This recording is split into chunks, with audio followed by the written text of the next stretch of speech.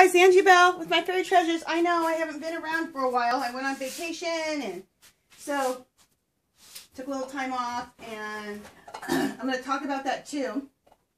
What I did, I made decent money while I went on vacation and took orders and all of that. I'm going to discuss that in a second. But I'm going to also first start out with what sold over the weekend.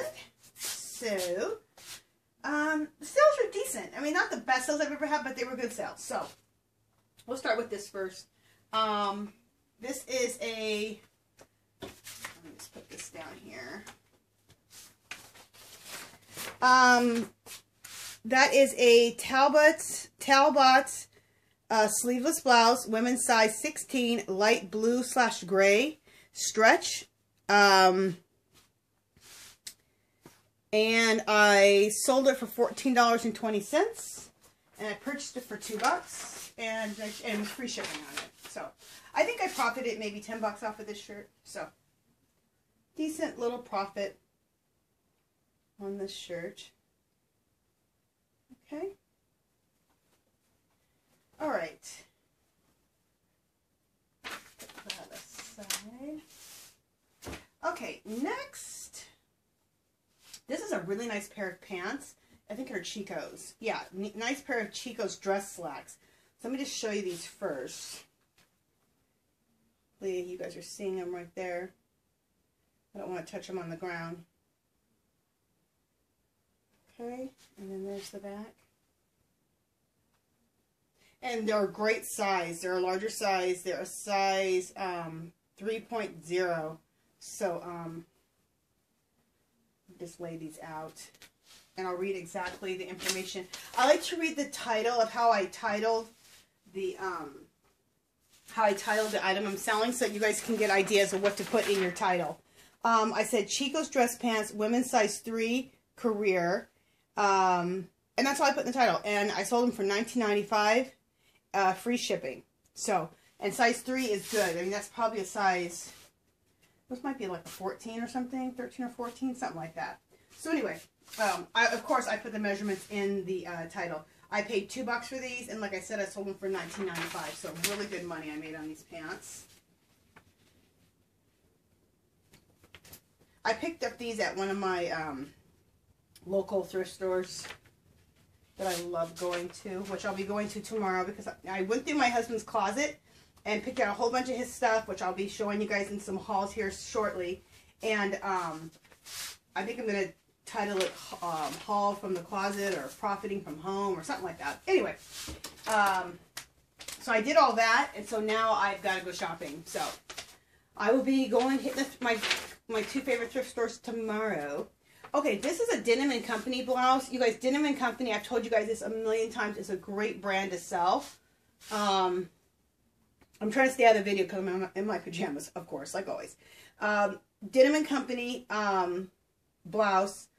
These are sold on QVC. It's a little wrinkled, so I'll probably, I'll throw this in the dryer before I package it up uh, with a little wet washcloth and probably a, um, a little um, bounce just to freshen it up too. But anyway, um, this Denim & Company brand sells awesome, you guys. And um, it's a QVC brand. They've been selling it for years. It has a great following. I get this stuff, Denim & Company, in my thing, and it doesn't even last. I'll show you guys the, show you up close. That's the brand. I wear Denim & Company jeans. I absolutely love their jeans. Uh, come on doesn't want to. There it is. So there's the thing. And this is just a simple little um, knit top. But these simple knit tops sell well, you guys. When you guys see these knit tops and it's a decent brand, pick them up. People love these. If you look around what people are wearing all the time, this is something that people wear all the time. I love these kind of tops. And they're really well-made ones. Um, I picked this up for 85 cents. And I sold it for $18.95 free shipping. So that's a good profit there. Um, here's another blouse. It's really wrinkly, so I need to. Sometimes in the box, I keep everything in a box, in a plastic bag in the box, and they get really wrinkled. Anyway, this is um, this is a, I call this a bohemian blouse. And I'll tell you guys how I tiled it. It's very bohemian. It's very hippie. Okay. Just, I, I kind of move it up and down to make sure you guys are getting the whole thing. Okay, and then I'll lay it out. Okay, so how I titled this in my title, I titled this Bohemian, and INC is the brand, and INC is a good brand. So you could have put INC first, but I so look for that brand INC. They make dresses, they make everything. But I felt that the Bohemian would be the word to put in there first. So I said Bohemian INC tunic blouse, size large, bell sleeves, and at the end I put hippie boho because those are really good keywords. Um, I picked this up for two bucks and I sold it for, you know what? Um, I haven't been paid for this yet, um, but they, um, but we, but I accepted an offer. I think I accepted fourteen ninety five for this. Yeah, fourteen ninety five. So, and free shipping. So, and when I'm done, I'll probably make about eight or nine dollars off of this one. Okay. Got there.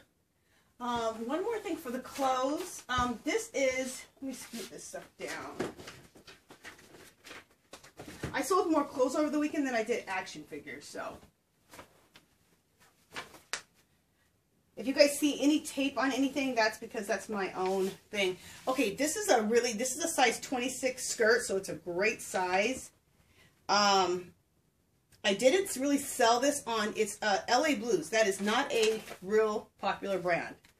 But these jean skirts are popular and they look very bohemian and they're maxi. So bohemian and maxi were the keywords that sold this skirt. Bohemian, boho, hippie, that's all really in style. And women love maxi skirts. They love maxi skirts and maxi dresses. So, and it's a nice, it's a nice, uh, a nice larger size. So how I did this specifically was Bohem Bohemian maxi denim skirt, women's size 26, and then I put the, uh, the brand at the end, LA Blues, and I put dressy casual. Um, so see how I did that? I didn't even put the brand name as the first as the first thing in the title. I put more of description of the style. So I sold it based on style, not based on brand on this one. Um, I only picked this up for a buck, you guys. And I sold this for $19.95. Yeah. So uh, that's a great profit margin on this. Like crazy profit margin. Um, oh, sorry. I sold it for $14.95. Sorry, not $19.95. Okay. There's Liette. Oh, here's another one I sold. Um, this is just simply a scarf that I got from, um, I'm going to tell you guys something that's crazy about this scarf too. Okay, I got this scarf from a garage sale down the street where I picked up everything for like a quarter. So this is a scarf from Sears and it has tags on it. So just show you guys really quick. It's just a scarf. No big deal. Okay. Um, and it has its, it's new with tags still. And you know what's funny, you guys? This thing only sold for $6. They had it down to $6. I sold it for more.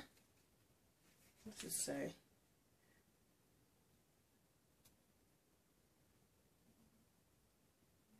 Um, they had this down to $6.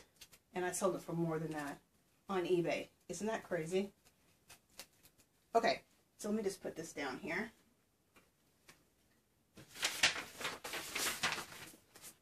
Yeah, it's just simply a scarf. Um, I put New Lands End. And if you find the brand New Lands End, that brand is sold at Sears. So I picked up a bunch of that brand um, down there at this local garage sale that was down the street from my house. Um, so it's, I said Lands End, beige scarf, length 51 width. I sold it for $8, free shipping. So, so I sold it for a couple more bucks than Sears could get for it when they were clearing them out. And basically, I picked this up for free. You guys, I got so many of these. She just sold me the whole box of them. And I'm saying that I picked them up for a quarter, but when I got done with them, they said they, I just got it for free. So I turned six. I turned um, what I turn that into? Eight dollars. Uh, I turned free into eight dollars. so I think when I'm done with paying for the shipping and everything, shipping's nothing on this. I think I'll make six six bucks off of it. And after eBay gets their portion of it too. Something like that. Anyway, not a whole lot of money, but what was nice is that I bought probably I well I was given probably 30 of these so all I have to do is hit relist. I don't have to keep listing this over and over again so that's good. Okay um next okay this is an action figure I only sold two action figures over the weekend which I was kind of surprised about but sometimes you sell more clothes sometimes they sell more action figures it just depends so this is TNA Samoa Joe action figure um, you know what? We just wanted, my husband probably picked this up for maybe, this is a long time ago, maybe eight bucks. We only sold it for 13 plus 8.95 shipping. It was something that we're just actually wanting to get out of, you know, just sell because they're not selling for that much. They didn't go up that much in price. So, but we got rid of it and it's been sitting in our garage. So still, it's good. Okay. You guys have seen a lot of times these action figures go up in prices, and you guys have seen that, and they're just like, it's crazy. But sometimes they don't. So you know what? Like anything else, sell it, get rid of it, get it out of your inventory, and move on. Okay, um, this is a, um, this is UFC 1 Legends Royce Gracie action figure. And I sold this one for $30 plus shipping of eight eight ninety five. So this is a great profit margin on this. Probably picked it up for 10 bucks, so uh, really good. So that is it. And what I want to touch on is I'll leave I'll leave the action figure out here so you guys can look at that while I talk really quick. I just want to give a couple of tips um, about vacation. Um, I went on vacation last week. Yeah, last week.